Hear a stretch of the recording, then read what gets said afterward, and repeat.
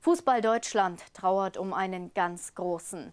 Lange Zeit war er als Spieler insbesondere in Chemnitz aktiv, später als Trainer beim FSV Zwickau, Erzgebirge Aue und dem CFC.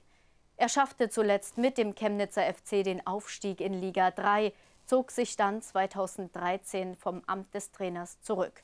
Gerd Schädlich war die Legende des Ostfußballs schlechthin. Nun am vergangenen Samstag die Nachricht, die ganz Deutschland schockierte. Gerd Schädlich ist im Alter von 69 Jahren nach langer, schwerer Krankheit verstorben. Die Schlagzeilen überfluteten die Nachrichten in diesen Tagen.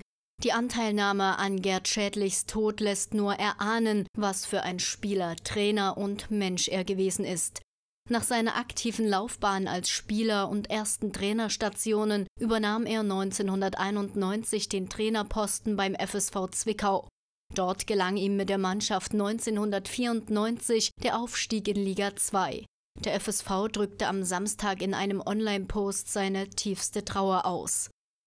Worte der Anteilnahme und des Dankes richtete auch der FC Erzgebirge Aue aus, bei welchem Schädlich von 1999 bis 2007 Trainer war und mit dem Team 2003 den Aufstieg in Liga 2 schaffte. Einen Nachruf sendete auch der Chemnitzer FC, welcher am gestrigen Abend auch eine Trauer- und Erinnerungsstätte vor seinem Stadion einrichtete. Anhänger legten hier Blumen nieder. Hier arbeitete Gerd Schädlich von 2008 bis 2013 als Cheftrainer und brachte die Chemnitzer 2011 von der Regionalliga in die Liga 3. Am heutigen Tage trafen wir zwei Weggefährten Schädlichs, die ein wenig in Erinnerung schwelgten und uns von ihrer Zeit mit Gerd Schädlich berichteten.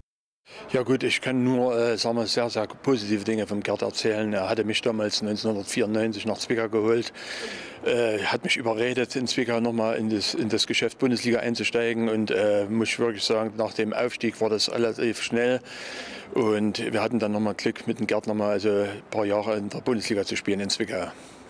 Wie hast du ihn als Mensch empfunden? Äh, er war für mich äh, als Mensch ganz hervorragend. Man kann gar keine Worte dafür finden. Also in, in vielen Dingen äh, ein, ein, guter Freund, in manchen Dingen auch knallhart. Also wir hatten immer ein sehr gutes Verhältnis und ich muss sagen, ihm hat meine Art sehr, also fand ich sehr, sehr gut und ich muss sagen, auch viele Spieler reden nur sehr gut von ihm. Es war ja so, dass es uns am Sonnabend die Meldung ist ja wie ein Lauffeuer umgegangen. Es gibt ihn nicht mehr, ist verstorben. Er war wohl sehr krank im Vorfeld.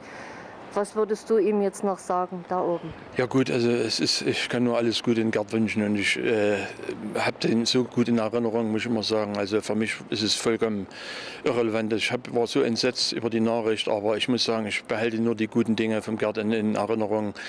Und ich muss sagen, äh, auch viele Spieler in, in der Region werden natürlich gerade mit Aue aufgestiegen, mit dem CFC aufgestiegen, mit Zwickau aufgestiegen. Das ist schon ein ganz großes Kino.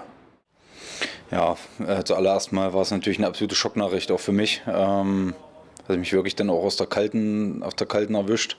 Und ja, bin da wirklich auch traurig drüber, ähm, wie das passiert ist. Und ja, habe wirklich sehr, sehr viele schöne, schöne Momente äh, mit dem Gerd erlebt. Er hat mir dann auch, als ich dann nicht mehr Spieler bei ihm war, du angeboten, was mich sehr gefreut hat. Und ja, wir hatten einfach ein sehr, sehr gutes Verhältnis jetzt auch danach. Ähm, hat er mir immer wieder auch Hilfe angeboten, hat mir immer gesagt, wenn was ist, kann, er, äh, kann ich ihn jederzeit anrufen. Und auch als Spieler, er hat mich, er hat mich damals dann äh, in Verbindung mit, mit Manfred Kupferschmied und mit Jörg Emmerich dann aus Paderborn nach Chemnitz geholt. Und wir hatten da auch eine, eine sehr erfolgreiche Zeit, äh, zweieinhalb Jahre und eine sehr, sehr schöne Zeit. Und ja, wenn man da jetzt auch zurückblickt, ähm, fallen einem natürlich sehr, sehr viele Geschichten ein. Äh, jetzt rückblickend auch, auch lustige Geschichten, die man vielleicht als, als Spieler dann noch gar nicht so wahrgenommen hat. Aber ich habe mich jetzt auch mit ein, mit ein paar Jungs von, aus der damaligen Zeit unterhalten.